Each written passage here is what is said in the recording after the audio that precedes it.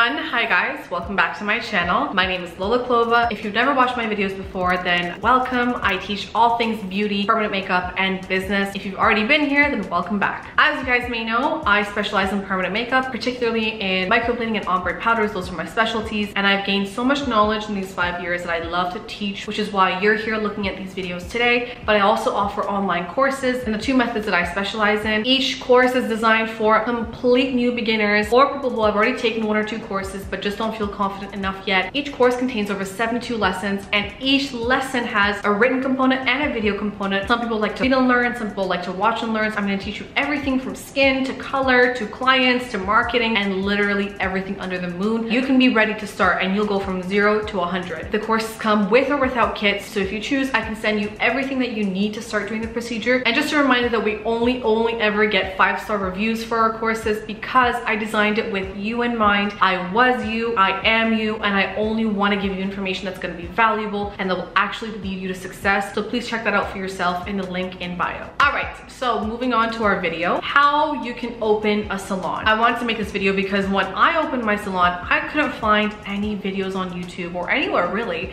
that gave me honest information and clear information as to what I need to do, how I can do it, and how I can get started. This particular video is going to be intended for all beauty professionals, not just permanent makeup. If you want to open a hair salon, a nail salon, a makeup salon, or just a salon in general, then it will probably apply to your conditions because opening a salon is pretty much along the same lines for whatever you're trying to do with exception to small variances in between. So let's get started. So the first thing is, I just wanna say that I'm assuming that you already have a business, you have registered your business with your state or with your city or whatever the case is from wherever you have to apply please already go and do that because obviously you can't go and get a salon if you don't have an operating business. I'm assuming that you already have that or that you will figure that out eventually and then you will move on to the step of opening an actual establishment, an actual brick and mortar. The first thing to do is acquire a space. Obviously, if you're looking to open a salon, you want to open a physical location and this location is super duper important with a few factors in mind. There's gonna be a ton of options for you to choose from. And when making the decision to choose a particular spot, there's gonna be a few things that you have to think about. First thing is you need to acquire a place that's going to suit your needs. So you need to decide if you're gonna have employees or if it's just going to be you. In my case, it was just me. I didn't have employees. I didn't want employees because I prefer to work alone and work on my own. Although I would have loved to have a team, I really didn't really want to go into that just yet. And if this is you, this is totally okay. But if you also want to expand and you have employees or if you already have employees lined up, then this is also perfectly fine as well. You just need to bear in mind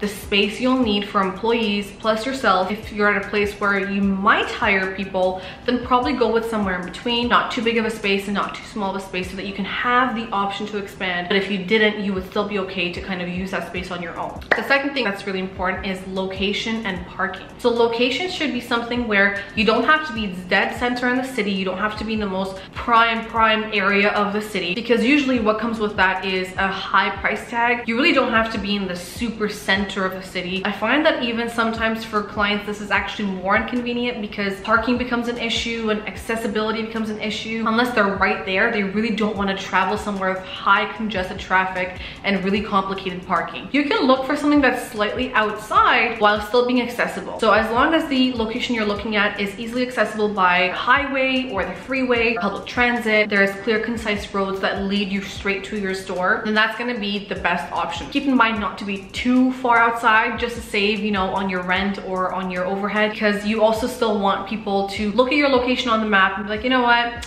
yeah, it's about 20 minutes, 25 minutes, but it's not so far out of my way. You wanna choose a location that's going to be around 20 to 25 minutes on average at the most from a few different cities around you. If this is a city over here, don't be basing yourself somewhere so far out. You wanna be somewhere in the middle where you can accommodate people in the city, but you can also accommodate people who are in the suburbs or outside the city and the cities around the region. Kind of be accessible to everyone in that area. You should always have access to freeways, highways, public transit systems so that you can accommodate pretty much everyone. Parking is really, really important. Nobody wants to go to an establishment where parking is going to be a headache. I personally get stressed ahead of time if I know I'm not gonna find parking because it just makes it so much more difficult to go there. I'm thinking of the fact that most people are drivers today, you want to keep parking ability in mind. If you find a place and the parking is not 100%, then that could be a, a negotiating factor for you or kind of like a make or break factor. I personally want when my clients come, parking to be right then and there. And even if it's paid somewhere that's not too difficult to get into. Try to keep in mind the limit on parking. Place you're going to offers you a certain amount of parking spaces. Make sure that's suitable for however many people are gonna be working in the salon at one given time so that each person, if they have one client each, they could still have adequate parking spaces for all of their clients. My last tip, the biggest tip I can give for you is try to find an existing salon. I don't know if you guys know this, but opening a salon and putting in the necessary plumbing, putting in the necessary infrastructure to be able to withstand the services that you offer and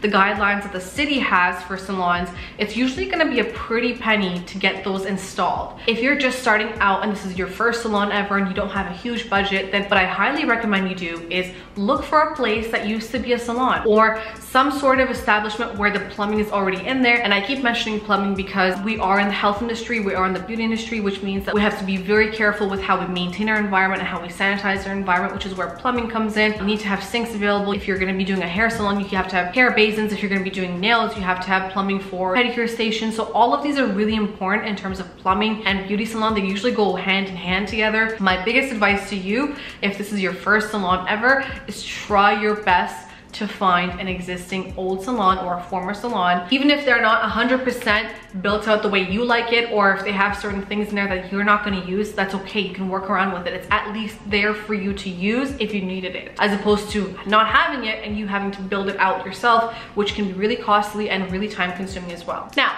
Let's say that you've done that first step, you've already gotten the space, you like your space, it suits all of your needs. Then the second thing to do would be to register with the city. This is different than registering your business as an LLC or a corporation or whatever the case. This is separate than that. You need to register and get a business license from the city where you basically go and tell the municipality, hey, I'm here, I'm opening a salon. My name is so-and-so, this is my business, this is what we're gonna be offering, and this is gonna be our address. Usually this is a fairly quick process in particular to permanent permanent makeup. For some cities, you will also be required to get a tattoo license if they establish that permanent makeup is under the same umbrella as tattoo. All this information will be available to you online. Quickly search up your city or call somebody at the city and find out what exactly you need to do to register your business with the city and what licenses you need to have before you start operating. The third thing you're gonna need to do is get your health pass. Most of the time, most cities and states require that salons, especially beauty salons that involve bodily fluids and keeping a sanitary environment for clients and to prevent spread of diseases, usually they require you to have a health pass of some sort. Each city will have their own guidelines as to how this is done and conducted and how many times that they come and see you to get this pass. The next step after having your licenses is to apply for some sort of green pass, health pass, whatever needs to be conducted by the city to come check out your environment, see if you're suitable for conducting business, to have clients, to be able to guarantee the safety of clients and that you are doing your due diligence to prevent the spread of anything and to have proper sanitization, proper tools, proper disinfecting